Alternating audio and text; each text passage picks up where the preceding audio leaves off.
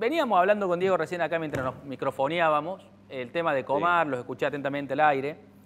Eh, yo preguntaba, porque se habló mucho del tema del sobre, ¿no? Esto de, de- de hablar de los periodistas, de cobrar. Sí. Eh, él, no, él no dice sobre, él no habla de efectivo, ni de transacciones, ni de transferencias a cuentas bancarias, creo.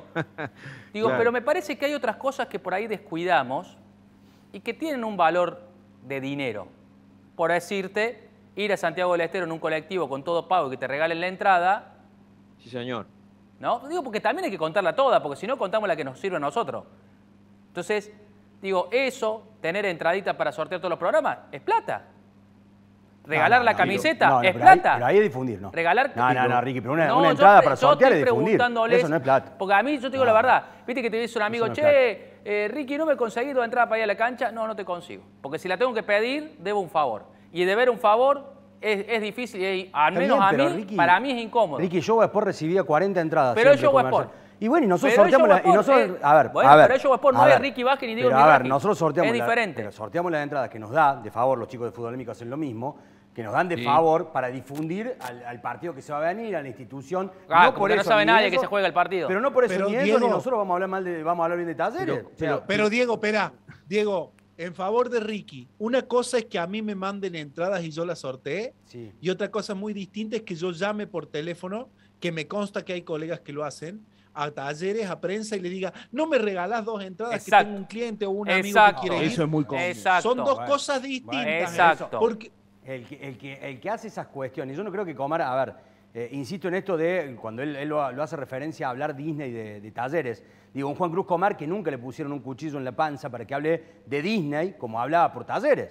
¿no? A Comar nunca le, le dijeron, che, habla bien. Y en eso O sea, yo comparto con siempre te digo, lo dije. Yo siempre digo, vos podés hablar, podés decir, pero no podés hablar maravilla como Comar hablaba. Yo- Estuvo seis años sin decir ni que jugadores se fueron mal, siendo capitán el último año y medio.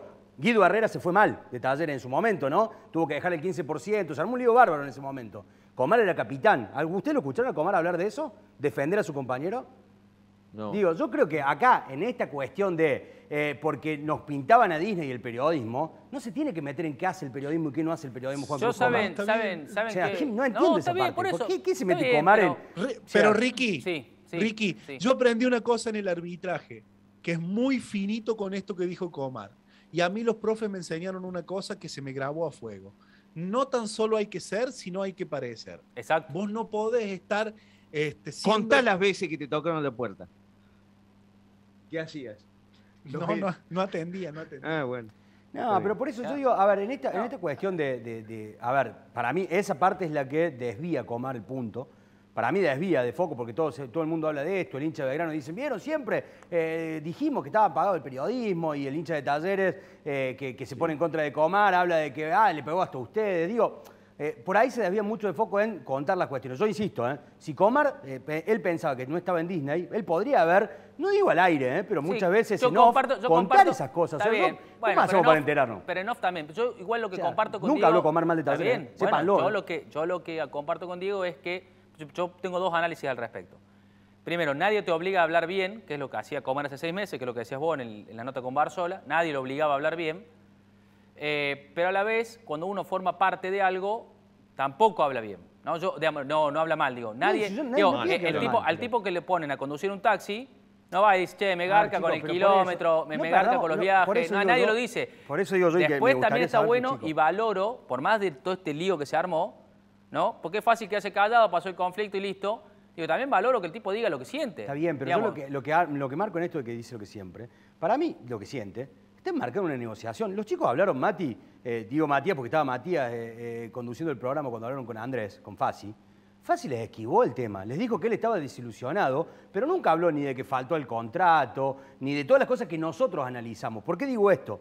Porque para mí todo lo de Comar, con Fasi incluido, estaba en el marco de una negociación. Y en esa negociación, Talleres, disculpen, pienso así, ¿no? La ganó largamente, eh, por encima de todos. Sí, ganó. 35% de Villagra, muchachos, hoy. 1.800.000 hoy, dólares, una fortuna. 35% de Villagra, que son 700 mil dólares evaluados hoy, de acá a dos años por la proyección que tiene Talleres y Villagra, la verdad me parece que es un golazo haber comprado 35. Recuerden que Talleres, por ejemplo, de Medina, de Medina, Sí. tuvo que darle el 35 a River, ¿eh? nunca pudo comprarle ese 35 y lo vendió muy bien Talleres a Medina, Eh. digo, a, a Facundo. Entonces, 1.800.000 por Comar y no hay centrales en Argentina. No veo que clubes compren centrales por 1.800.000 más 35% de un jugador. No, No, es un gran negocio. Y no sé, fácil, negocio. fácil nunca te dijo Mati a vos, eh, se puso en contra de Comar, porque si hubiera estado en contra, lo hubiera saltado y para mí pues, quedó todo en la negociación. Bueno, Yo, hizo- hizo yo el creo que habló. ah, No, y creo que habló de la persona. A mí me parece que Comar lo que se dedicó es embarrar la cancha para no contar lo mal que hizo él. No se hizo cargo nunca de lo que él, porque, porque seguramente para él no hizo mal. Para él está perfecto lo que hizo. No, no creo. No, no, Y no, si no, no lo no, no creo que duerma, no creo que duerma tranquilo con su conciencia. Y bueno. No, no, le faltó, le faltó hombría. Le faltó, no, Ay, vos tenés que tener hombría. Y, y sí, totalmente, yo estoy de tenés que acuerdo tener con vos. Y hombría bueno, para reconocer Claro, en, este caso, en un bueno. micrófono Perfecto. los errores que comete. Por Hay que hacer un No libro que se hombre llame. Las hipocresías del fútbol, Ah, bueno. donde queremos hacer creer que una pasión por una camiseta te puede llevar a ir en contra de los intereses personales y familiares. A todos nos gusta ganar más guita y estar Exacto. mejor laboralmente. Exacto. En el fútbol queremos hacer ver que no por la camiseta. Mentira. Pero ¿qué pasa si mañana Rafael Pérez dice, no, yo soy hincha del Deportivo Cali y me quiero ir a jugar al Claro. Deportivo Cali? Y se planta y dice, me voy, me voy a jugar al Deportivo Claro, Cali. Lo dijo, lo dijo, lo recién. Seba. Seba, lo dijo Vargas recién con usted al aire con Balboa, hizo lo mismo. Balbo decís. Pero chicos, venimos. Ahora, Distinto porque pero chicos, contrato antes. Venimos de hace cuatro cosa. años que Matías Suárez se fue también de un día para el otro. O sea, esto en el fútbol. Es habitual. Y, y Matías Sí, Suárez claro. tenía contrato con Belgrano, ¿no? ¿O yo estoy equivocado? Tenía contrato y todo normal y Belgrano tuvo que sentarse a negociar con River en la misma Obligato- situación. obligadamente. La misma. Obligadamente. Sí, Y la Ramírez, y Ramírez en Talleres, muchacho, hizo exactamente lo mismo. Se plantó en Buenos La- Aires y dijo, o me venden a San perdón, Lorenzo o perdón, me digo. venden, ¿eh? Sepa. La diferencia que era que uno era crack y el otro no. No, bueno, pero eso lo, lo decimos nosotros. ¿Por qué, Central, No. ¿Por qué Central decide por Comar? ¿Por qué hace tanta fuerza Central por Comar? Yo la verdad. bueno, Y bueno, muchachos. problema pero- de ellos. Pero, y Mirá, por eso digo, Ahora es problema de ellos. ¿Qué, qué para ustedes, Ahora es problema de él. ustedes que están en redes, ¿no? Eh, ¿Qué es un retweet? Digamos, yo pongo algo. Yo pongo algo. No, no, no entremos a analizar qué es lo de redes sociales con- donde o sea, cada uno o hace sea, lo ¿no que te quiere. parece a vos, no te parece a vos que lo Es pensar igual. Léelo a pelo santo, igual, Chico, sentirte. léelo a pelo santo que respondió en Twitter sobre lo mismo que está Oh. diciendo hoy, te va a dejar tirado en el suelo. O sea, léelo a pelo santo. Es sentirte acaba de decir en en Twitter. Bueno, yo lo voy, yo voy a No, ver- no, Pelo yo- Santo acaba de decir otra cosa, nada que ver. Ponelo en- ya, en búscamelo, Twitter. búscamelo. Fede, Está búscamelo. Alexis Bonet, ¿no? Chicos, les cuento. Está Alexis Bonet escuchándonos todo esto. Alexis Bonet es el arquero de Argentino de Monte Maíz. Per- perdona, Alexis, pero esto es un lío Que logró el ascenso, que vamos, que Bueno, vamos a hablar de lo que realmente, lo que Bueno, realmente es importante para Lambert. Córdoba. Pero simplemente ya-. No, no. ya me voy, no, ya me no, voy para pero- Monte Maíz. Pero yo les decía, y eh, bueno, vi a leer lo que dice Michael Santos, pero yo digo, yo veo que los me gusta, la publicación de Comar está, por decir alguno, ¿eh? Humeler, Fernando Godoy, Mauro Ortiz, El Chelo Torres, Junior Arias, Fede Navarro, Nacho Méndez, un familiar muy importante de Herrera. El Leo Godoy, Martín. Pallero, Nahuel Busto. Santi- Uh, Santi- che, Santi todos piensan lo mismo que Comar, porque No, para mí un me gusta es pensar lo mismo. Evidentemente, eh, Michael Santos está diciendo otra cosa en Twitter, Santi pero para mí Colazo, poner un me gusta Santi Colazo BDR. Hola, Pelo Santos. ¿El me gusta en la publicación de Comar es porque adherís a lo que él dijo, como dicen algunos medios? seguramente habrá dicho ¿O es papo, más no, una- un abrazo amigo que te vaya bien? ¿Viste?